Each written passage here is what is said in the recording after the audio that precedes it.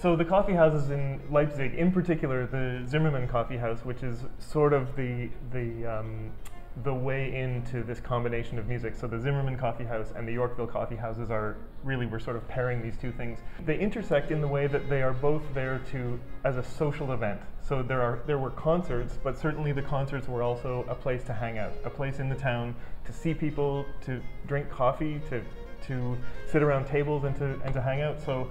Um, that I think is the is the big kind of meeting point between these two things. All these iconic artists. Um, I mean, they're iconic because they wrote wonderful songs, and I think in particular, this scene in the '60s and '70s was a part of the folk kind of uh, uh, renaissance, and so they were singing songs that uh, existed long before and bringing this music kind of to the forefront.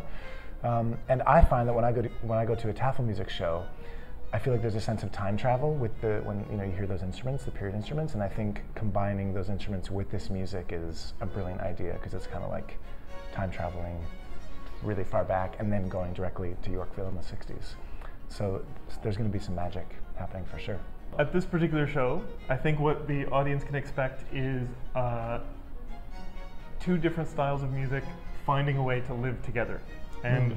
Um, the the fact that the the players and myself are playing some some uh, Telemann, some uh, Handel, and some some Bach, that mixed with these folk songs, and we're not doing one half of one and one half of another. We're we're incorporating all of the songs into one set, so the whole thing will feel like one sort of concert, one piece of music. And for me, yeah, I, I'm interested in how my voice will react to singing with the instruments. Like I don't have a classical sound necessarily, but I think I'm going to want to explore some, you know, oh, some like darker um, operatic tones with this group. So they can expect a variety of delights. Mm-hmm.